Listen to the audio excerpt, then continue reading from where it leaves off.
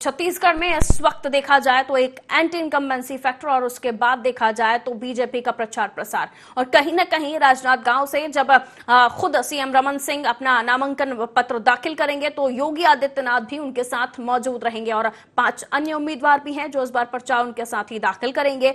अब ऐसी स्थिति में क्या कुछ खास बात है इस नामांकन पत्र दाखिल करने के बीच की कड़ी को हम जोड़ने की कोशिश करेंगे? मेरे सहयोगी कुलेश्वर हमारे साथ जुड़े हुए हैं। सीधा लाइव रुक कर रहे हैं हम कुलेश्वर। का कुलेश्वर, जो ये नामांकन पत्र आज दाखिल किया जाएगा। क्या कुछ उसकी थ्योरी पता चल पा रही है? क्योंकि योगी आदित्यनाथ भी होंगे, पाँच अन्य उम्मीदवार होंगे जो आज नामांकन दाखिल करेंगे। तो अंदर की बात क्या निकलकर सामने आ रही है?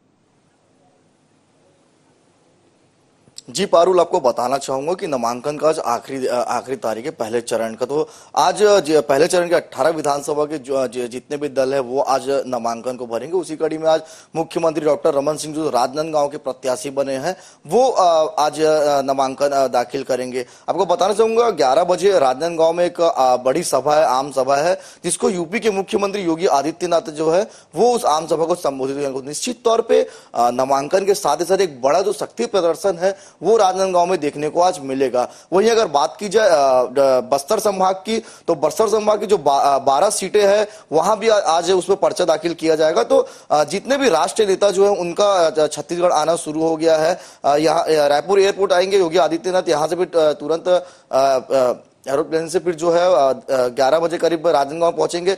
वहाँ पे राजनगांव में एक बड़ा आम सभा, उसको संबोधित करेंगे। उसके बाद करीब एक बजे वहाँ से निकल के विशाल रैली के रूप में जितने कार्यकर्ता है, बीजेपी के जितने नेता है और योगी आदित्यनाथ खुद वहाँ पे मौजूद रहेंगे। रैली के शकल में जिला निर्वाचन कार्यालय जो है, वहाँ पर जाकर नामांकन दाखिल करेंगे। तो निश्चित तौर पर नामांकन के साथ साथ एक बड़ा शक्ति प्रदर्शन भी आज भारतीय जनता पार्टी जो है राजनांदगांव में दिखाएगी। वही अगर बात की जाए बस्तर संभाग की तो बस्तर संभाग में बारह सीटों के लिए आज नामांकन भरा जाएगा। आपको बताना बताना चाहूँगा रायपुर से सांसद रमेश बैस, सौदान सिंह, ये सब बस्तर के लिए रवाना हो गए क्योंकि अलग अलग जगह में अलग अलग जो बड़े नेता है, वो नामांकन में शामिल होंगे। नामांकन के साथ साथ बस्तर संभाग में भी आज एक शक्ति प्रदर्शन जो है, वो देखने को मिल सकता है उनका। क्योंकि भारतीय जनता पार्टी बस्तर की अगर बात की जाए तो बारह सीट में ज़्यादा फोकस कर रही है। क्योंकि वो जो बारह सीटें है, एक चुनाव में सरकार ला भी सकती है और गिरा भी सकती है। क्योंकि बस्तर संभाग में अगर बात की जाए तो अभी बारह में से जो है आठ सीटें जो है वो कांग्रेस के पास है और चार सीटें जो है वो भाजपा के पास है। तो भाजपा इस समय चाह रही है कि जो बस्तर की बारह सीट है,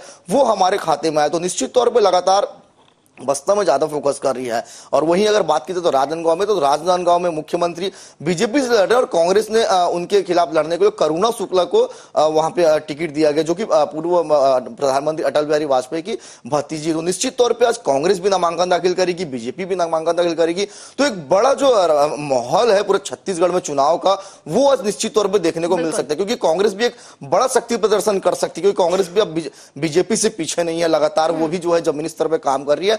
और आज अगर बात की जाए छत्तीसगढ़ की तो कुल मिला के जो चुनावी माहौल है, आज वो पूरे छत्तीसगढ़ में देखने को मिलेगा। जी पारो। बिल्कुल तो चुनावी माहौल तो देखने को मिलेगा ही, लेकिन अगर हम देखें तो कई सीटों पर कांटे की टक्कर भी दिखाई दे रही है कुलेश्वर। अब ऐसी स्थिति में अगर हम राजनाथ गाँव की बात कर लें तो क्योंकि अटल बिहारी वाजपेयी जी के अस्थि कलश को किस तरह से लेकर मुद्दा बनाया कांग्रेस ने और साथ ही साथ खुद सिंपैथी गेन करने के लिए किस तरह से बीजेपी ने भी उस फैक्टर को, उस फॉर्मूले को अच्छे से उपयोग किया। अब ऐसी स्थिति में जो करुणा शुक्ला है, क्योंकि अटल बिहारी वाजपेयी जी के भतीजी हैं, क्या राजनाथ गाँव में जो टक्कर दिखाई दे रही है? सीएम रमन तो फेस है ही, लेकिन करुणा शुक्ला क्या लगता है? टक्कर कैसी होगी?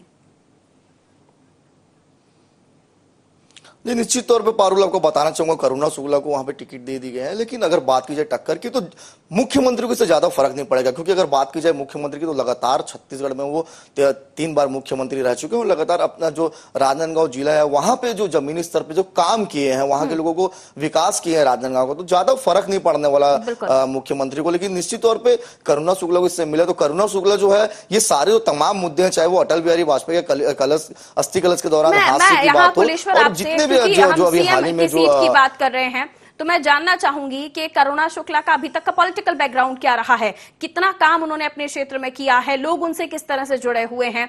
क्या माना जा सकता है कि जिस तरह से हम समझने की कोशिश कर रहे हैं या फिर वाकई हारने के लिए ही करुणा शुक्ला को भेजा गया है? जी निश्चित तौर पे पारुल को बताना चाहूँगा करुणा शुक्ला जो थे काफ़ी समय से लंबे टाइम से भाजपा की सदस्य बन के भाजपा के कार्यकर्ता बनकर रही है। हाल ही में जो है उन्होंने कांग्रेस ज्वाइन किया था। ये बोलते हुए कि भाजपा में जो है उनको नकारा जा रहा है क्योंकि अटल बिहारी वाजपेयी के भतीजी होने के कारण जो उनको भाजपा से नकारा जा रहा है उनको बैक पर सामने नहीं लाया जा रहा है सिर्फ़ एक आम कार्यकर्ता की तरह ही छोड़ दिया गया है क्योंकि अपने अपने करुणा शुक्ला भी एक अच्छा नाम है छत्तीसगढ़ में। और रही बात कार्य की तो भाजपा में रहते हुए करुणा शुक्ला में भी काफ़ी कार्य जो किया है लेकिन उसके बाद जब कांग्रेस उन्होंने प्रवेश किया तो कहीं ना कहीं पार्टी से अलग होकर कांग्रेस प्रवेश कर लिए हैं और कांग्रेस आने के बाद उनको जस्ट अपोजिट मुख्यमंत्री के खिलाफ वहाँ पे खड़े कर दिया तो कहीं ना कहीं थोड़ा सा फ़र्क तो ज़रूर पड़ेगा मुख्यमंत्री को, क्योंकि जिस तरह से अभी छत्तीसगढ़ का माहौल बना है, लगातार एक के बाद एक जो भाजपा के मुद्दे को कांग्रेस उठा रही है तो कहीं ना कहीं छत्तीसगढ़ में भाजपा सरकार को इससे कहीं ना कहीं नुकसान हो सकता है। अगर पूरे छत्तीसगढ़ की बात की तो निश्चित तौर पे कांग्रेस एक एक मुद्दे को जो है भाजपा के, वो उठा रही है, जनता के बीच ला रही है, चाहे वो उल्टा चश्मा जो कांग्रेस ने अभी हाल ही में जो वीडियो वायरल किया था, उसमें साफ़ तौर पे दिखा रहे हैं कि कितने खराब सड़कें हैं, पंद्रह साल में सिर्फ़ बातें किए हैं भाजपा ने और काम बिल्कुल भी नहीं हुआ है जमीनी स्तर पे। सिर्फ़ शहर में विकास हुआ है, घर ग्रामीण अंचल में विकास नहीं हुआ है। तो ये तमाम मुद्दे को लेकर जो करुणा शुक्ला है, वो वहाँ पे उतरेगी। इन मुद्दे को लेकर जनता के बीच जाएगी, बताएगी कि पंद्रह साल में कितना विकास हुआ और कितना विकास नहीं हुआ। तो कहीं ना कहीं इस समय जो मुख्यमंत्री का वोट बैंक है, वो कहीं ना कहीं जो है वहाँ से कट सकता है। और मुख्यमंत्री हालाँकि यहाँ के मुख्यमंत्री रहे वहाँ के प्रत्याशी में तो निश्चित तौर पर ज़्यादा फ़र्क नहीं पड़ेगा, लेकिन जो एक वोट है, वो ज़रूर कट सकता है राजनांदगांव में मुख्यमंत्री का इस समय। बिल्कुल क्योंकि पूरे के पूरे अठारह नाम दो, दोनों दलों के सामने आ चुके हैं। और इस समय मैं आपसे ये जानना चाहूँगी कुलेश्वर कि 18 सीटों में कौन सी ऐसी सीट होगी जहाँ चुनाव रोचक दिखाई देने वाले हैं? और जहाँ टक्कर भी होगी और ऐसी स्थिति में कई ऐसे भी सीटें होंगी जहाँ बहुत कम अंतर से एक दूसरे के ऊपर हार जीत का अंतर दिखाई दिया होगा। उन सीटों के बारे में मैं आपसे समझना चाहूँगी।